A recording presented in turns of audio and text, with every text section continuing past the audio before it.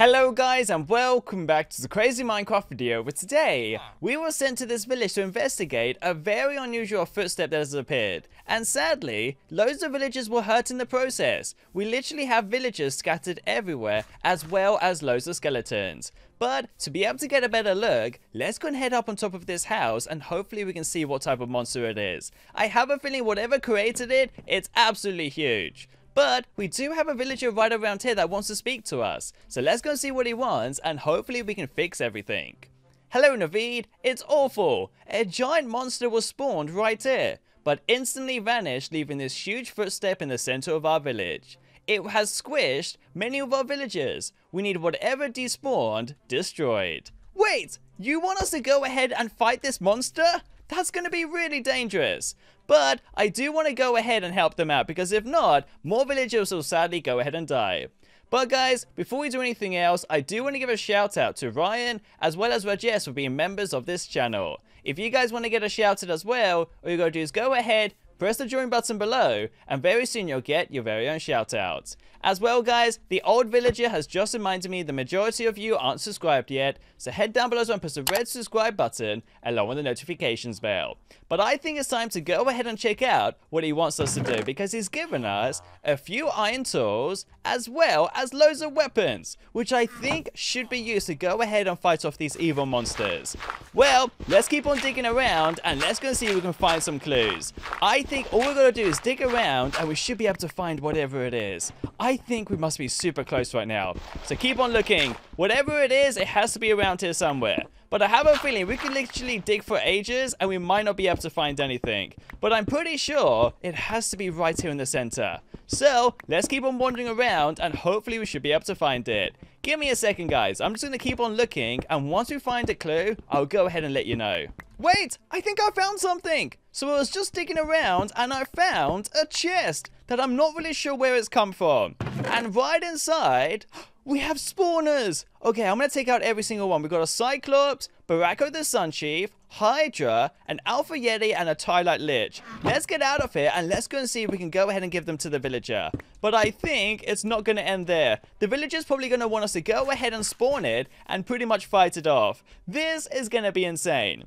Well, to be able to do this, I'm guessing we'll have to cover up this hole and we can fight the monsters right in the center. And then we can measure out which monster belongs to this crazy footstep. And perfect. Well guys, are you ready? Let me go ahead and take out all these spawners and let's get fighting these evil monsters. I'm going to start with the Alpha Yeti, which I think is going to be an easy one. Let me spawn it right here.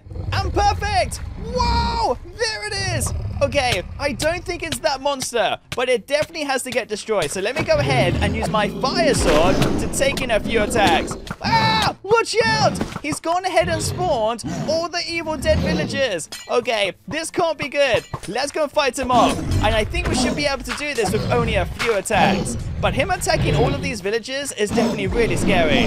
Whoa! I kind of need some better weapons, because if not, this is going to be ever so challenging. Maybe we can use our ice crystal to go ahead and destroy it. And look, he's revived all the villagers. Let's go freeze him. And perfect. And now we should be able to go ahead and take in a few attacks. Yes, I think it's working. Look how mad he's getting. Maybe next time the villager can go ahead and give us some better armors because as of right now, he is really hard to destroy. Oh, quickly, he's sitting down. Now's our perfect chance to go ahead and do this. Good, let's keep going and let's go and try and use it. Perfect, think we've almost done it. At any moment, we should be able to get it destroyed. And I'm a little bit worried that all of these dead villagers are slowly by slowly coming back to life, which is not good for us whatsoever. Let's go and use our fire sword one more time because I think this one works best. Having to go ahead and use fire against an ice monster is definitely the best option we have. Well, I think it's working right now, so let's go and try and do this as quick as we can and hopefully it should work. Perfect! Keep going! And awesome! Wow! We must be so close right now! Here we go! I think it's literally just one more hit and we should have it done. Even though we've died so many times, I think this has turned out to be one of the best battles we've done in quite a while. Let's go in and destroy this monster, and we should be set. Here we go. Perfect! We've done it! Ah, that is awesome! I can't believe we've gone ahead and killed our first monster. And it's made it snow everywhere, which I can't believe. Old villager, do you have any sort of armors we can wear? I kind of need them right now. Let's go and see what he has. Oh, so he has a full Yeti outfit. I'm guessing he made it by going ahead and combining a few of the little pieces that the Yeti gave us. And here we go! This should hopefully keep us very protected. And hopefully we should be able to do this as fast as we can. But let me go ahead and now spawn Barako the Sun Chief right around here that I think we should be able to figure out if it's the one that belongs to his footstep. Let's go and check it out. Whoa! Okay, I'm not entirely sure, but I think he is pretty small for this step. Let me go and use the ice crystal to go ahead and try and freeze it, and hopefully this should work. Let's keep going. Is it gonna work? No! His attacks are well too strong.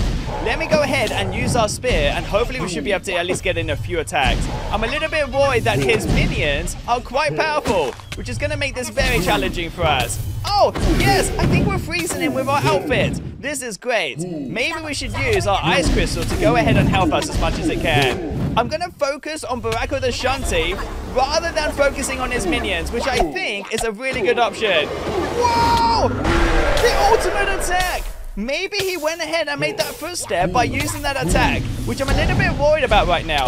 Let me go ahead and try and destroy these minions at least, and hopefully we should be able to do this. Whoa! That is the most ultimate attack I've ever seen. Maybe we could spawn another monster to go ahead and fight against it. But now is our chance. Let's get close. And perfect. Whoa! That's mental. But thankfully, he's almost destroyed. I've just got to focus on the last few hits.